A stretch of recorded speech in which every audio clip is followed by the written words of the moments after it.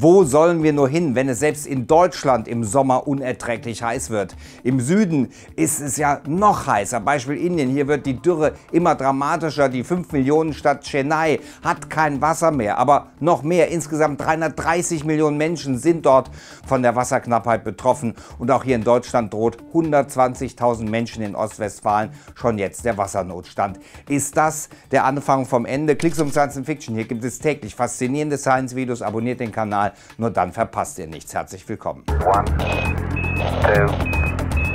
Es spricht einiges dafür, dass diese extremen Wetterereignisse mit dem Klimawandel zusammenhängen. Das Problem, konkrete Wetterereignisse kann man eigentlich meist nicht mit dem Klimawandel verbinden und ihm zuordnen. Allerdings passieren immer mehr Unwetter oder Stürme, die zumindest statistisch inzwischen deutlich wahrscheinlicher geworden sind und vor allem gehen damit immer größere Mengen Wasser auf uns nieder. Es ist also nicht nur die Bodenversiegelung, die Straßen, Häuser und Gewerbegebiete, die das Wasser immer schlechter abfließen lassen. Es regnet oder hagelt tatsächlich mehr Wasser auf uns nieder und dafür gibt es hier in Europa einen ganz einfachen Grund. Die Arktis verliert immer mehr Eis, vor allem im Sommer. Und so sind immer größere Flächen eisfrei und damit wird das Wasser, weil es deutlich weniger Sonnenlicht als Eis reflektiert, wärmer. Und so verdunsten riesige Mengen an Wasser, die jetzt als Regen oder Hagel in bisher fast unbekannten Mengen auf uns niederprasseln. Und auch die Hitzewelle dieses Jahr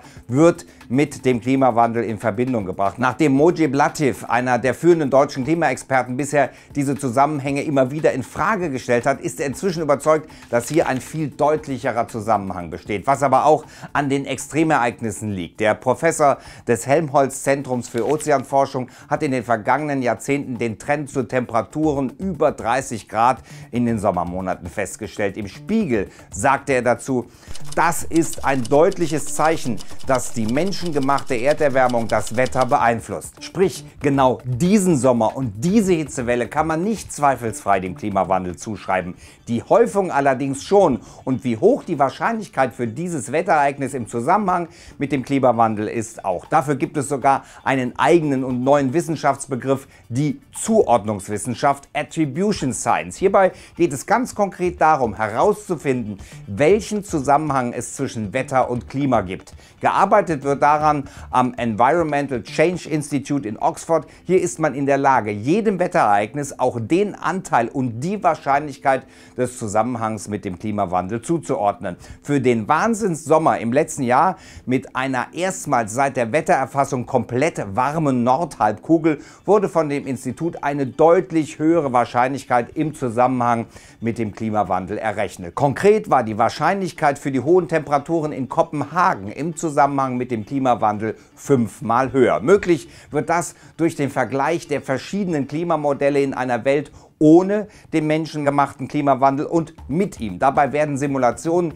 gegen das Wetterereignis gestellt, das untersucht wird. Dabei werden Unmengen an Daten erfasst und mit speziellen Algorithmen durchgerechnet, die die deutsche Leiterin des Instituts, die Klimawissenschaftlerin und Physikerin Friederike Otto mitentwickelt hat. Sie sagt zu dem Verfahren, zum ersten Mal in der Geschichte verfügen wir über die Mittel, um belastbare Aussagen über einzelne Wetterereignisse zu treffen. Das Zitat stammt aus ihrem Buch Wütendes Wetter. Mit ihrer Methode wird, so Otto, die Klimawissenschaft gewissermaßen vom Kopf auf die Füße gestellt. Und es eröffnet ganz neue rechtliche Perspektiven. Zum ersten Mal kann Wetter kausal mit dem Klimawandel in Zusammenhang gebracht werden. Und da ziemlich exakt bekannt ist, wer wie viel in welcher Weise zum Klimawandel beiträgt, können die Verantwortlichen wie Ölkonzerne, Regierungen, Stromkonzerne wie RWE und so weiter und so fort verklagt werden. Da ja alle im Wissen und der Kenntnis der Auswirkungen ihres Tuns handeln,